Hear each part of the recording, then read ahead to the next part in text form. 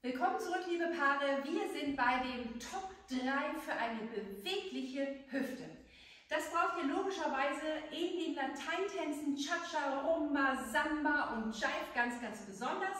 Pause Doppel ist ein bisschen anders, da ist das nicht so der Fall. Aber in diesen vier Tänzen ist eine bewegliche Hüfte eine ganz, ganz wichtige Grundlage, damit man den Tanz na, eins so, wie er optimal sein soll, auch ausführen kann. Und das sieht natürlich auch gut aus. Ne? So eine schöne Hüftbewegung hat schon was. Und ich zeige euch drei Übungen, ja, die Top 3 Übungen, wie ihr diese Hüfte beweglich macht. Weil es ist nicht schlimm, wenn ihr damit erst irgendwie mit 50, 60 oder 80 anfangt. Ja? Einfach ist es vorsichtig langsam ranzutrainieren. Ja? Das heißt, ihr müsst es nicht am Anfang gleich perfekt hinkriegen, aber wichtig ist, dass wir es einfach üben und die ganzen Muskeln, die dafür gebraucht werden, einfach mal wieder trainieren und das Ganze aufbauen. Achtung, Achtung, wenn ihr das übt, ja, regelmäßig machen, es reicht nicht aus, einmal ne, sowas zu üben. Ihr müsst das schon regelmäßig üben, damit ihr einen Erfolg seht. Ja? Und ihr könntet Muskelkater kriegen. Gerade am Anfang, wenn ihr die Übung macht, ähm, habt ihr Muskelkater. Ne?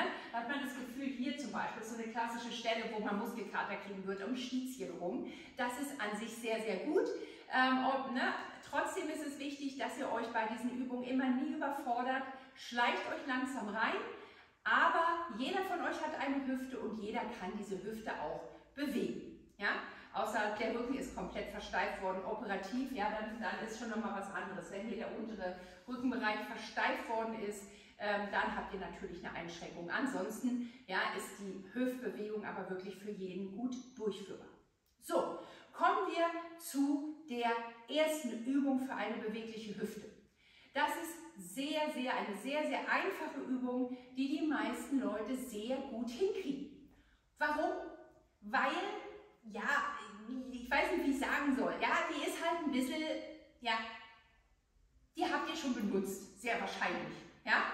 Und zwar kommt sie sehr wahrscheinlich vor, wenn ihr ähm, äh, etwas intimer mit einem Partner werdet, dann benutzt man nämlich ja auch die Hüfte. Und die Hüftbewegung, die man dann klassisch macht, ist, dass ihr mal ganz, ganz locker ins Knie geht. Die Füße sind so hüftbreite, ja, Schulter hüftbreit auseinander. Und was ihr macht, ist, dass ihr die Hüfte mal ganz locker nach hinten und nach vorne bewegt. Ja, ich habe es euch gesagt, das ist halt ein bisschen versaute Übung, aber ihr könnt das ja im Badezimmer machen, wo euch keiner sieht. Ne? Guck mal, ihr Hüfte einfach über vorne und nach hinten rollen. Das ist die einfachste Übung, weil die meisten von euch sie schon gemacht haben. Ja? Und die erfordert auch gar nicht so viel Umdenken. Alles, was ihr tut, ist, ihr spannt eure Muskeln im Bauch an und den Po und ihr lockert das Ganze wieder und führt es nach hinten. Also nach vorne, nach hinten. Das ist wie hier so eine Schwingbewegung. Ja? Relativ einfach. Bei mir seht ihr es am stärksten durch mein Kleid in die hintere Bewegung, aber die Hüfte rollt richtig nach vorne und nach hinten. Ja? Jetzt könnt ihr das wahrscheinlich gut sehen. Ja? Ist auch nichts Schlimmes dabei. Beim Tanzen haben wir immer die Klamotten an. Ich verspreche euch, es kann nichts passieren. Warum ist diese Übung so wichtig? Die Übung ist wichtig, um erstmal wieder zu verstehen, wo ist überhaupt meine Hüfte? Ja, das ist total wichtig. Also nicht, weil ihr denkt, ach, die ist mir irgendwie peinlich. Macht die da, wo euch keiner sieht. Die ist auch nicht peinlich, die ist wichtig, damit ihr eure Muskeln im Hüftbereich ansprechen könnt. Das war die Übung Nummer 1. Ne, das macht ihr ein paar Mal, wie ihr euch wohlfühlt. Cool ist es, wenn ihr das zur Musik macht, dann kann man auch mal so ein bisschen rumgrooven, die Hüfte auch mal ein bisschen über nach rechts und links, also ihr könnt da ein bisschen Spaß haben. Wichtig ist, Hüftbewegung vor und zurück. Übung geschafft. Kommen wir zur Übung Nummer 2. Die Übung Nummer 2 geht nicht um dieses Rollen auf dieser Ebene, sondern es geht um das Heben und Senken auf der einen und der anderen Seite. Das heißt, einen Hüftbereich, legt mal eure, äh, euren Zeigefinger auf eure Hüften drauf. Es geht darum, dass die eine Hüfte immer nach oben und die andere nach unten geht. Ihr wiegt quasi die Hüften hoch und runter. Und wie ihr das macht, ist, indem ihr einfach ne, ein Bein ja, durchdrückt. Diese Hüfte wird nach oben gedrückt. Ne, durch das durchgedrückte Knie geht die Hüfte nach oben und die Hüfte geht nach unten. Und könnt ihr wechseln. Das heißt, ihr habt immer ein Knie durchgedrückt und ein Knie locker. Und so könnt ihr die Hüfte wechseln. Also immer da, wo die Hüfte hoch ist, ist mein Bein durchgedrückt. Immer da, wo die Hüfte niedriger ist, ist mein Knie locker. Und wechseln, wechseln, wechseln. Es geht nur hoch und runter. Ich verspreche euch, das kann auch jeder. Ja, wechseln, wechseln, wechseln, wechseln. Gut macht ihr das. Wechseln, wechseln. Sehr schön. Gar nicht so schwer. Ne? Ähm, wichtig dabei ist, ja, schaut mal nochmal auf meinen Oberkörper, dass ich nicht das mache. Das habe ich euch jetzt nicht gezeigt, weil dann passiert nichts in meinen Hüften, sondern ich bleibe einfach immer gleich und mache das hier oben. Das ist nicht der Wunsch. Die Schultern bleiben total ruhig. Ihr seht, es passiert nur hier unten. Ja? Die Ebene hier drüben, hier oben, die bleibt komplett gerade. Es passiert nur hier unten. Wie kriegt ihr das hin? Ihr habt hier im Körper in der Mitte, ja, zwischen dem Brustkorb und dem Hüftknochen, habt ihr nur hinten die Wirbelsäule, die durchläuft. Und hier drumherum sind nur Muskeln, Speck, Gedärms und irgendwelches Zeugs, ja, Organe und so. Und die könnt ihr sehr schön quetschen und strecken. Nichts anderes passiert. Ihr nehmt nur den Hüftknochen und packt ihn hoch und runter. Hoch und runter. Wobei ihr den Schulterbereich sehr schön ruhig lasst. Es passiert nur hier. Es geht natürlich auch schneller. Ja, ihr könnt das auch hier so shaken. Probiert das einfach mal aus.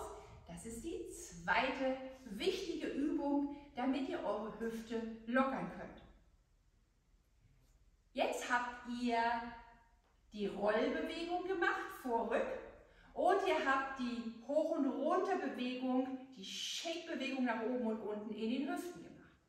Jetzt würde ich euch gerne die Acht zeigen. Stellt euch einfach vor, ich nehme mir noch ein Band zur Hilfe, dass ihr auf dem Boden eine Acht gemalt habt. Das mache ich jetzt mal mit dem Band. Ja? Ich habe das in der Mitte ein bisschen verbunden zack, so, mal gucken, dass ich das einigermaßen gleich groß hinkriege. Ich weiß nicht, ob ihr das sehen könnt, aber ich habe jetzt quasi mit dem Band eine 8 auf dem Boden gemacht. Und was ich möchte, ist, dass ihr diese 8 mit der Hüfte nachzeichnet. Ja? Es wäre so, als würdet ihr mit der Hüfte, erst mit der rechten Hüfte die Seite und mit der linken Hüfte diese Seite machen. Ihr nehmt also euren Hüftknochen hier einfach nur mal, dass euch das bewusst geht und führt die rechte Seite ja, nach vorne, nach hinten. Dadurch geht automatisch die andere Seite nach vorne, ihr führt sie nach hinten. Vor, vor. Ihr malt mit dem Hüftknochen eine Acht auf den Boden. Vor, vor, vor. Ja, das hilft, wenn man da so ein bisschen die Füße auseinanderstehen hat, also nicht ganz, ganz eng steht, dann ist es so ein bisschen, ne, so, sondern so hüft- und schulterbreit die Füße hat und einfach die Acht in den Boden malt mit der Hüfte. Ihr dreht einfach nur eure Hüfte. Achtet nochmal darauf, dass hier euer Oberkörper wieder relativ ruhig ist, wenn ihr das Ganze macht. Ja? Also nicht hier mit den Schultern mitmalen, sondern es passiert hier in der Hüfte. Darauf kommt es an. Und was ihr jetzt merken werdet, wenn ihr vorher diese Übung mit dem Rollen und mit dem Shaken gut gemacht habt, dass ihr das automatisch ein bisschen mit einbaut. Nämlich, wenn ihr die Hüfte hier nach vorne bringen wollt, dann hilft es, wenn ihr da locker ins Knie geht, die Hüfte rüber, durchstrecken, die Hüfte geht hier hoch. Locker, durchstrecken. Und so könnt ihr diese ganzen Bewegungen, dieses Gefühl für diese Hüfte, auch mit diesem, dass die hochläuft hier über diese Außenfläche. Ihr malt immer noch die 8, aber die Hüfte läuft auch hoch, dass ihr das einbaut. Und wie könnt ihr das beim Tanzen einbauen? Ich nehme jetzt einfach mal die Rumba. Da habt ihr das sogenannte Seitkucaracha. Seitwärts wie Gen. Seitwärts wie Gen. Eine Acht.